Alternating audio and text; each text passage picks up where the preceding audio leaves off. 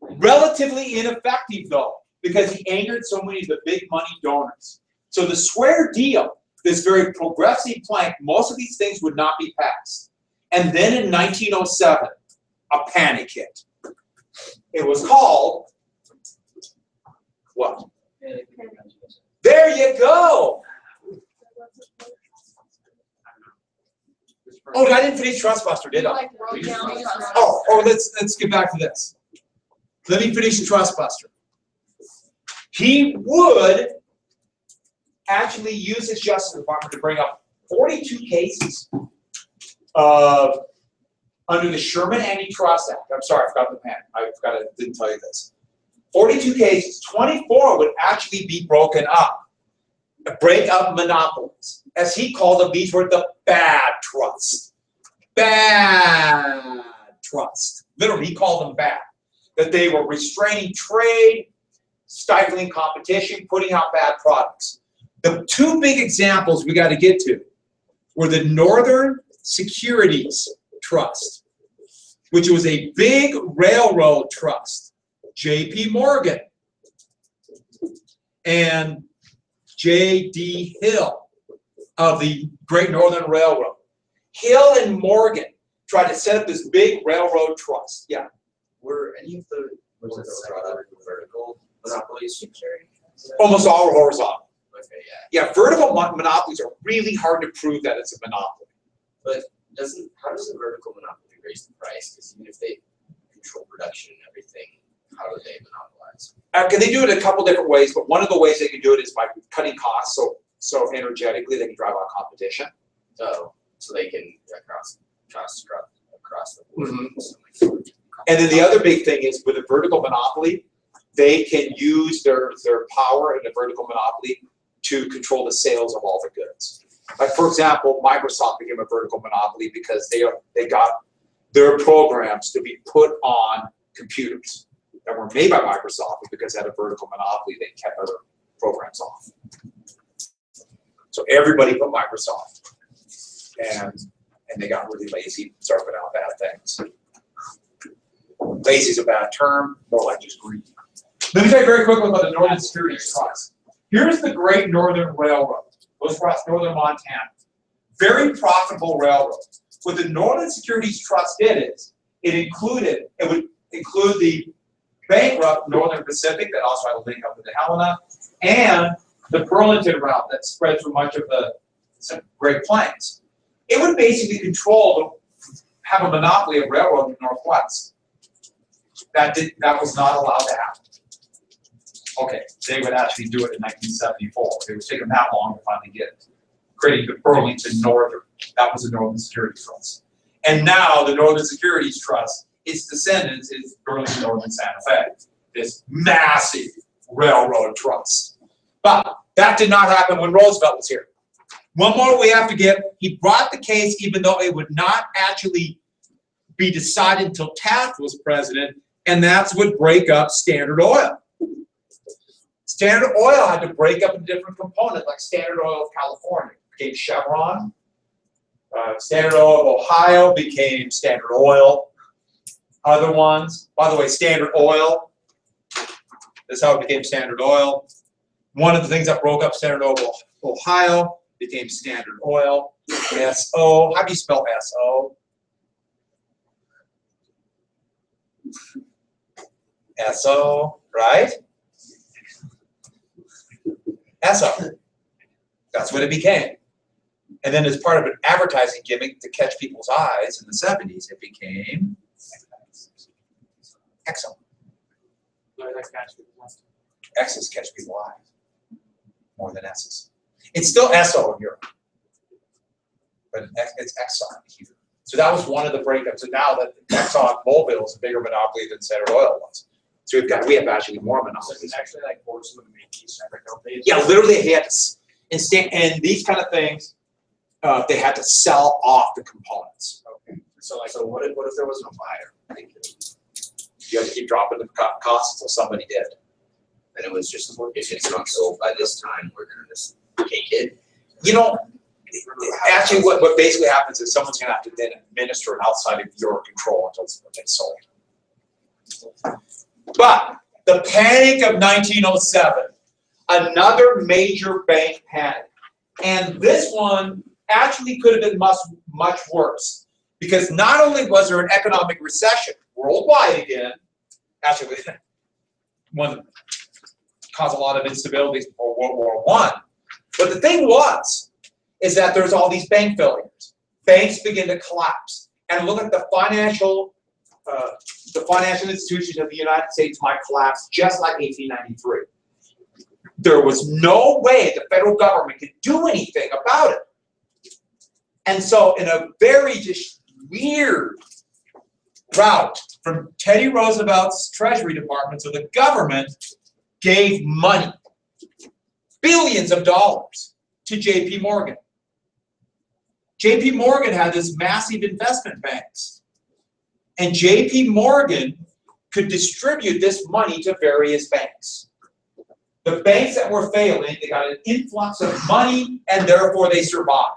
Government gave money to Morgan, Morgan to banks. It showed that they needed a central bank. Remember that whole national bank controversy from the last semester and century? It showed it needs something to regulate and control the money supply because this barely kept the panic from going totally out of control and it could never work again. Yes. Um, uh, Yeah, JP Morgan's investment bank was big enough, it could actually make these essentially no interest loans with US government money. Oh, yeah. Yeah. Was there interest on those loans? No interest. even a loan. Or was it? It was a loan, it had to be paid back, but with no interest, it's basically free money. It's exactly what the Federal Reserve Bank, now the national bank we have, gave to all the banks after, after the nineteen oh eight crash. They gave them no interest loans because they were all going bankrupt. Only about fifteen trillion, and then nineteen oh eight or two thousand? two thousand eight. Did I say nineteen oh eight? Yeah. I bet two thousand. And then, why would the system just never work again if it crashed that bad?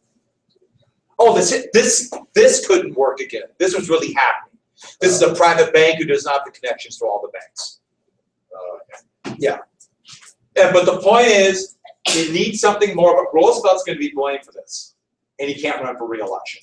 Roosevelt would have liked to run again. But Republic, big money interests in the Republican Party now could say, we don't want you back. And so Roosevelt actually could choose, handpick his successor.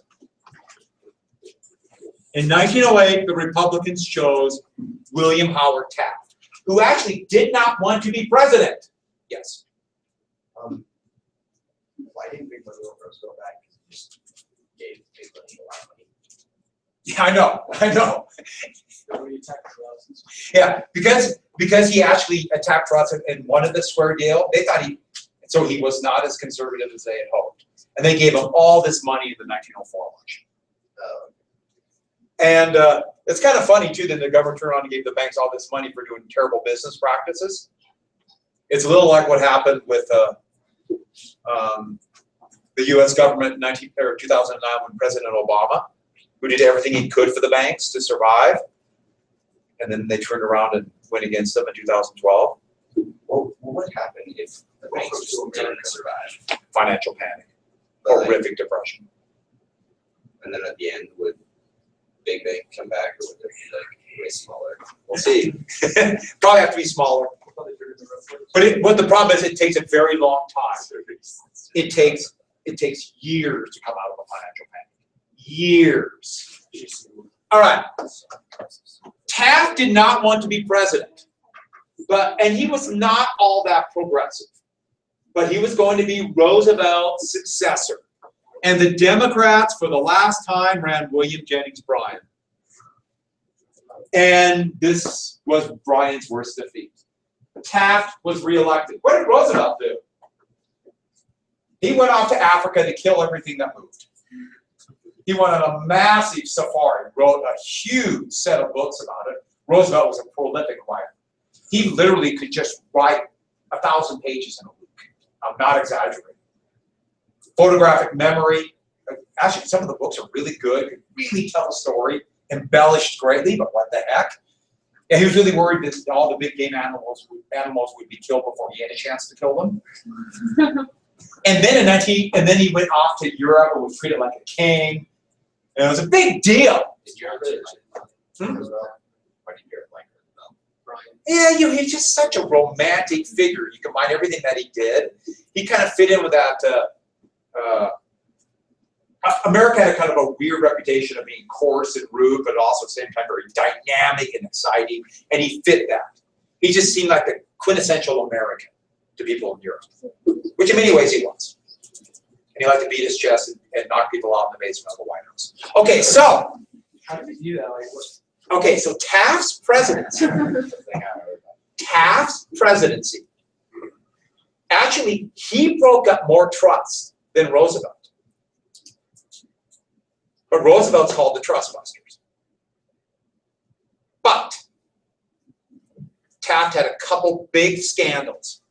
The first one was he promised to lower the tariff, yet the bill he signed barely lowered it at all. So the tariff issue and then in conservation. Conservation really hit him. It's called the Pinchot Ballinger Affair.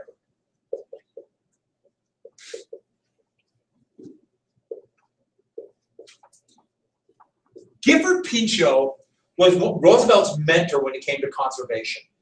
And so Pinchot had Pinchot Ballinger, that's an E R, for, that's pretty good for Pinchot for me. That that looks like an H, doesn't it? Yeah. I deserve something for that. Nothing. Nothing. The Pinchot Ballinger affair. Are you hiling me, Ron? High five. Yes, and I. We should add, we should we should do this really quickly. I want to tell you. The Pledge of Allegiance was written at this time. I pledge allegiance to the flag and for the country which it stands, one nation, indivisible, with liberty and justice for all. That was the Pledge of Allegiance when it was first written. No, not till nineteen fifty-one. We ain't godless commies. That's exactly why it was put in. And then they added the, the United States of America in nineteen twenty-one. And until nineteen forty-two, children would do, I pledge allegiance to the flag of the United States of America and to the republic for which it stands, one nation, indivisible, with liberty and justice for all. Right? I'm not kidding about the godless commies. It was a Cold War. But how did people do it? I pledge allegiance to the flag. Did you see an issue during World War II? Just a little minor issue. Anyone? Anyone? All right, so back to this. You should do, you should do left hands. Because it's just a Roman hail. Okay. Ballinger was Secretary of the Interior. And what Ballinger was doing was selling off government land at rock bottom prices and then taking a kickback. Remember the term kickback? Taking money under the table. Pinchot exposed it. Taft was furious. At? Pinchot! How dare you? And so he supported Ballinger, even though Ballinger was clearly taking bribes. Wait, so was he mad about him for blowing the good scheme that was making money, or was he just mad? Taft, Yeah. Taft was embarrassed. He didn't like the person who embarrassed him. No one like, you know, kills a messenger kind of thing. Don't tell me my administration is messing up.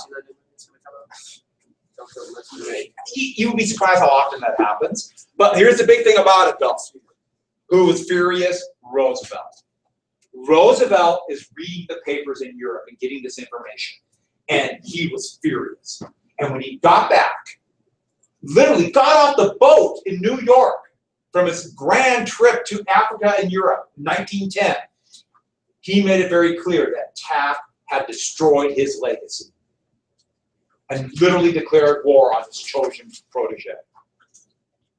And that leads to one of the best, most exciting elections in American history, the 1912 election. This is an election that has a little bit of the old, the new, they campaigned for themselves. It was a dynamic campaign. It showed all the different views of the United States, and it had four major candidates. It's a pretty incredible election. I've read a couple books about it, and I like this kind of stuff because it talks about the history of the area, but also how the, the elections kind of personify what America was like. It's just a great election. And so, first off, there is now, looks like a viable socialist candidate, Eugene Debs.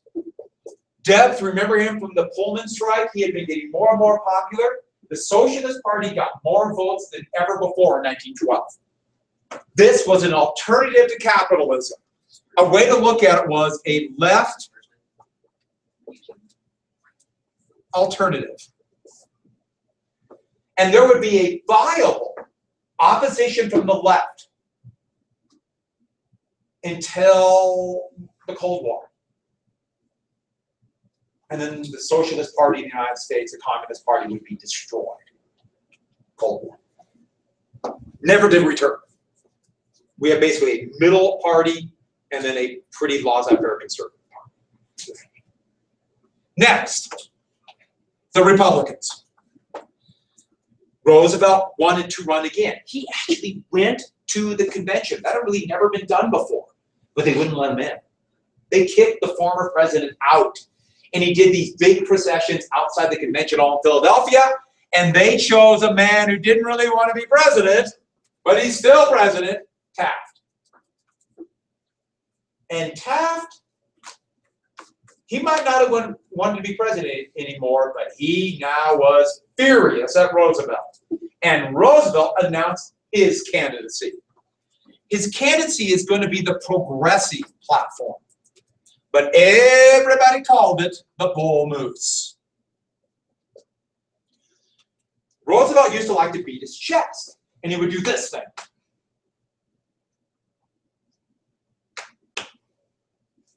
And beat his chest. And so in 1912, after he announced that he was going to throw his hat into the ring and run for president, he was asked, How do you feel, Mr. President? Once you're president, you're always Mr. President. At least so far, Mr. President. And he goes, I feel as fit as a bull moose. That's the bull moose party. There was a progressive party before, and there will be a progressive party after. But this really was a one horse party. It's, or one moose party. It was Teddy Roosevelt. Yes.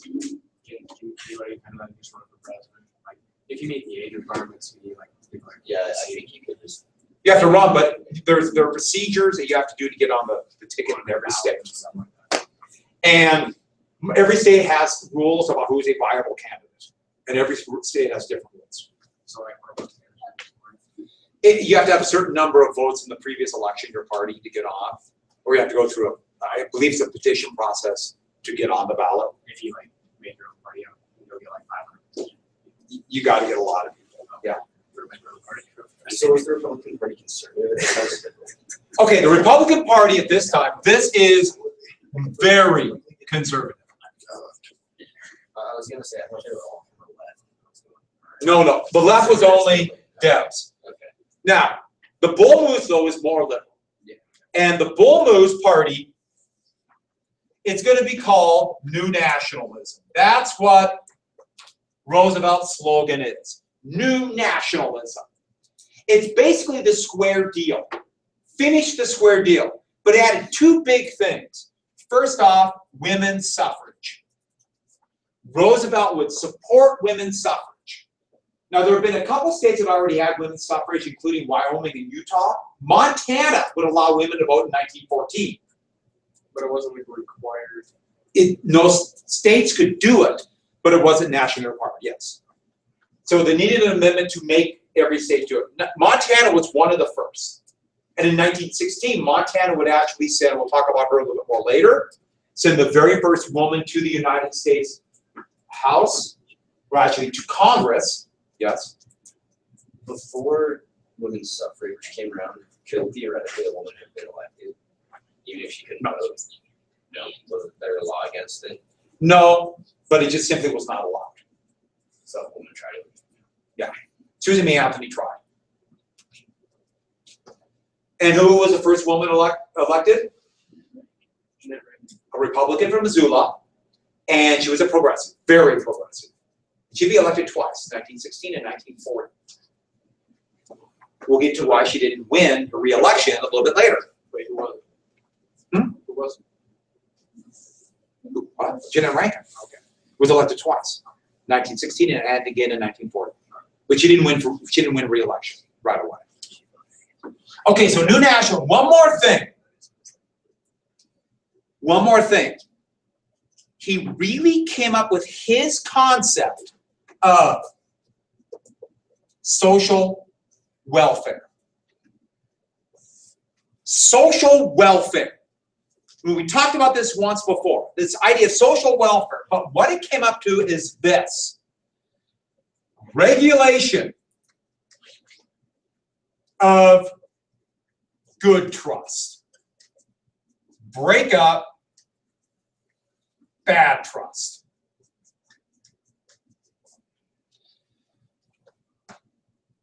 His idea became this, bad trust, break them up.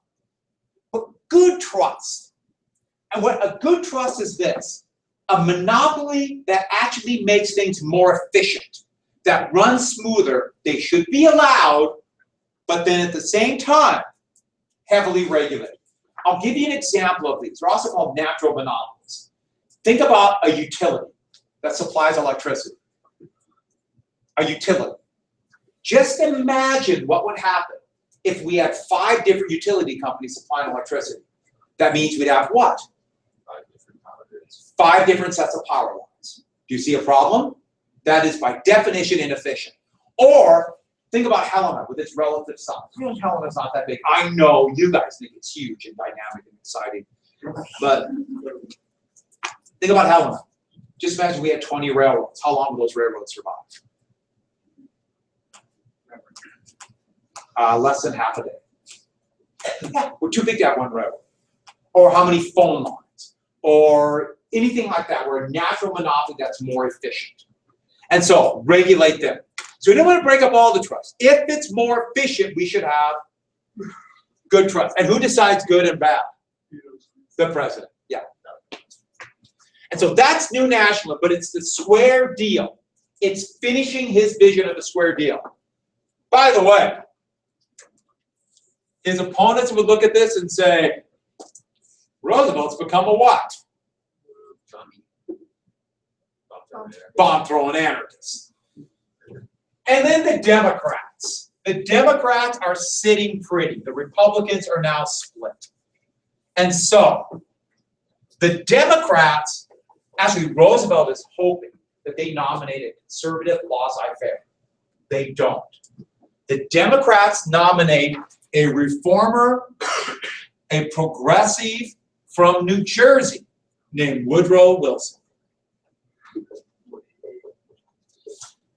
Wilson was actually a Virginian, but he went to Princeton, and later on become president of Princeton College and then governor of New Jersey.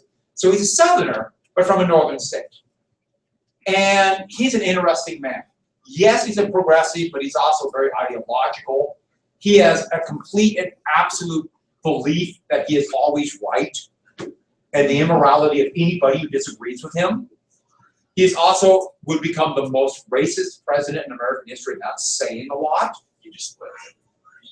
Spoiled. Spoiled what? Oh yeah, he will win. I know I destroyed him. The suspension. Roosevelt. Oh shoot. Now there's two progressives. He can't get all the progressive vote. With the Republican Party split, all Wilson has to do is show up and he's gonna win. But his program is gonna be new freedom. Wait, why? Why is him running and being progressive? What it, Roosevelt was hoping he'd get all the Democratic progressives too. Okay. But now all the Democratic progressives will vote for Wilson. So there wouldn't be any split between those. Yeah. Progressives very Wilson. But the Republicans are gonna be split between Taft and Roosevelt. Well, And- why wouldn't the Democratic progressives vote for because they got a progressive in their own party. And so, new freedom.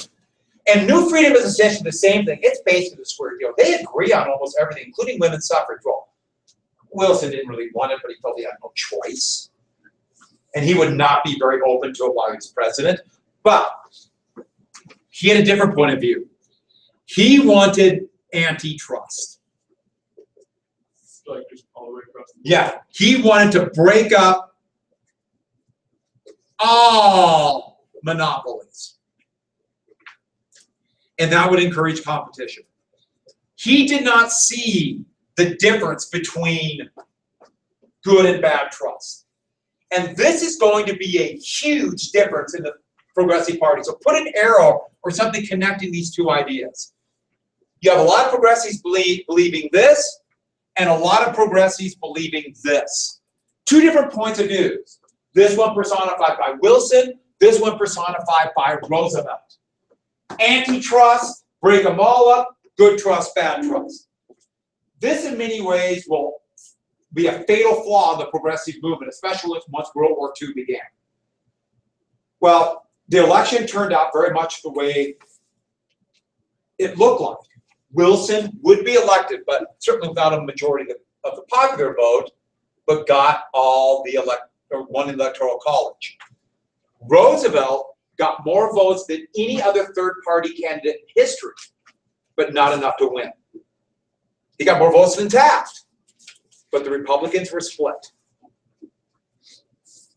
Debs got more votes than any socialist had ever had.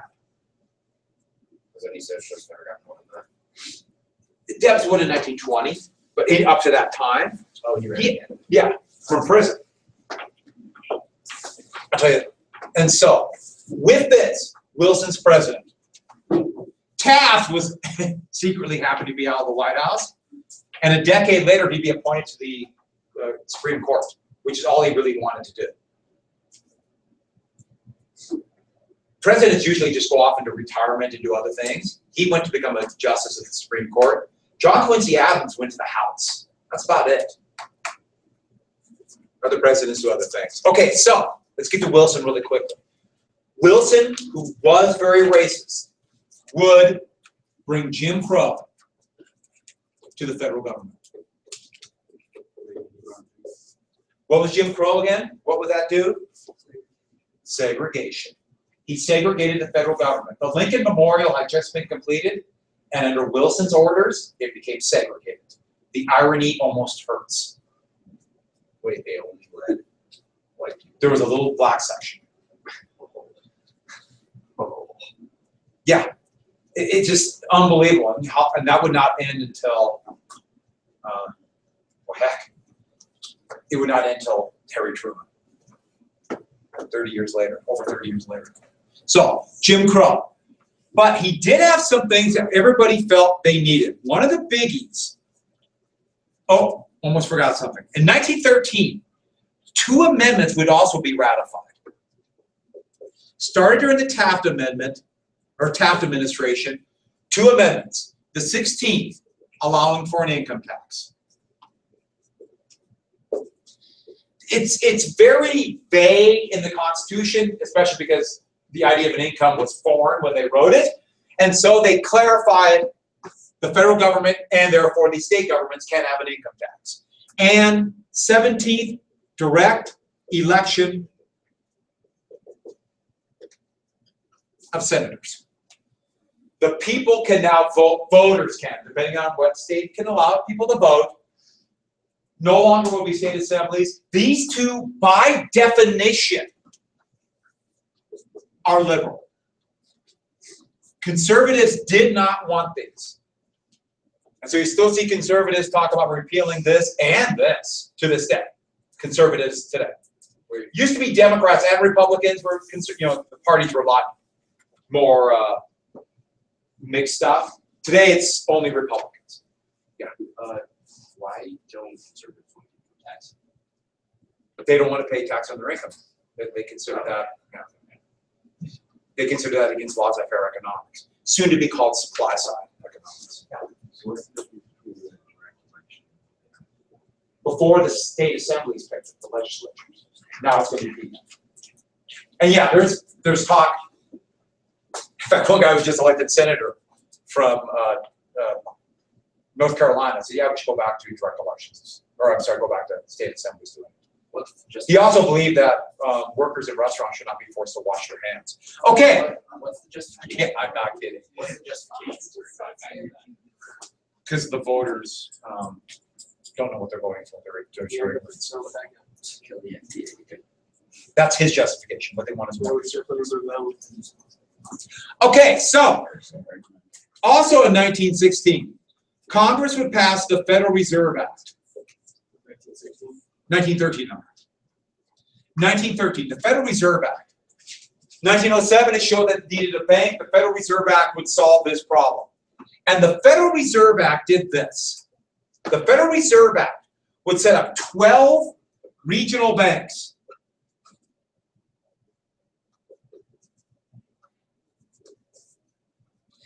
And through these banks, they would distribute money, loan money to banks, and in a way, regulate the banking system.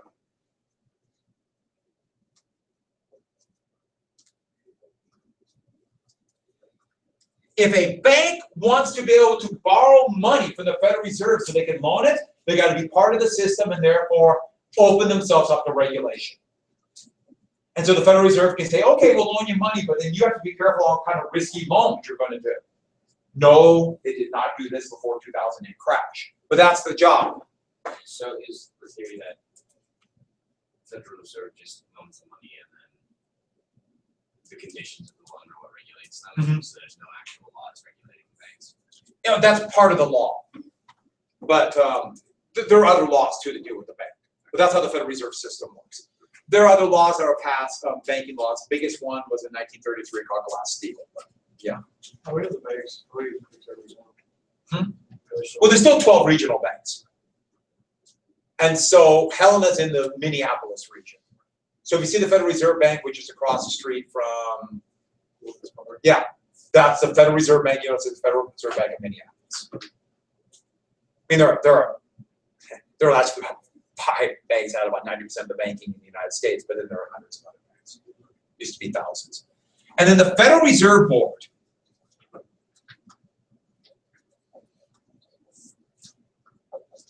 The Federal Reserve Board. The Federal Reserve Board actually, they're the ones who set the interest rates. They set interest rates. They set interest rates that these regional banks charge. It's called the federal funds rate. They set that rate. So when the economy, as they see it, is overproducing and might go into a bust, they raise the federal funds rate, make it harder for banks to borrow money and therefore slow the economy down. In times are bad, they lower the rate, hoping that it'll make it easier for banks to loan money. The problem was in the 2000s, they had the bank rate so low that when they when the economy crashed in 2007, 2008, yeah, they hit zero and that's it. And they're stuck. And the head of the Federal Reserve Board is one of the most important people in the United States appointed by the president. The current head of the Federal Reserve Board was appointed by President Obama, and her name is Janet Yellen. And she is arguably the second or third most powerful person in the United States. Janet Yellen. And most people have never even heard of her because they don't realize how important the Federal Reserve is.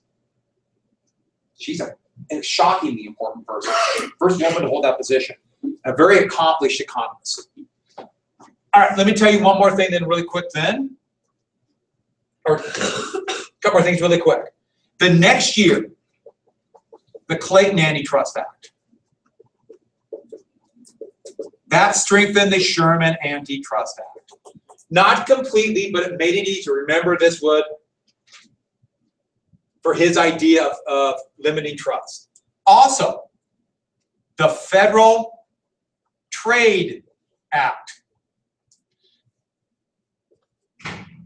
created the Federal Trade Commission, the FTC.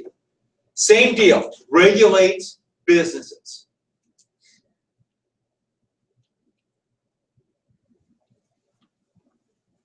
And those are the big ones we need to know from him. World War One would kind of crush the progressive movement. And I'll talk more about these after World War One, but there are two amendments. The last two progressive amendments would pass at the end of Wilson's term. The Eighteenth Amendment, the glorious experiment that got a jump start during the war, prohibition. It technically banned what? At first, it looked like it was gonna be a success. We'll stop this evil. Then it turned into a disaster. And then the nineteenth, women's suffrage. Wait, I thought that wasn't in the Constitution. it's like the fact that we have like, that everything applies to women is in the Constitution, but voting is. Voting is. What? Women can vote. Wait, I thought you said that was in there. No. Equal rights is not guaranteed. Uh, Yes, So for the prohibition, was it just like hard alcohol? all alcohol. But then, well, You can make a small amount for yourself, but that's it. so, And I'll talk more about that when we get to the okay, so I was talking to Kayla and I was like, if you were a church, you could sell wine. And she was like, no, no, one's not paying for that. That's not what people care about. You know, I mean, technically, church could still buy some, there could be some medicinal alcohol and a few things like that, but, you know, it became a big racket selling the churches. And then they, yeah. So, uh, TP, when uh, it's called the Federal Trade Act. Commission. Oh, I never told you about how President Roosevelt boxed in the basement of the White House. And I never told you about him getting shot. Yeah, when he's giving his speech in Cincinnati in nineteen twelve during the election. He had a photographic memory, so we had a ten-page speech. He read, he wrote it and memorized it. Would you like me to do that? Yeah. He folded it and put it in his pocket. The guy ran up, Ramita Holford shot him with a derringer, right there. But the speech was so thick, it slowed it down. It's only lodged between the two ribs. This is what he did, he went shook as they're tackling the guy. Blood began to pool at his feet. He looked at the audience and said, it takes a lot more than a bullet to stop a bull. And finish the speech. That alone, yeah. Have a good day, everybody. I'll see you tomorrow. Right when you find work. And, and. Right? I'm gonna quit recording now. Wave to the camera.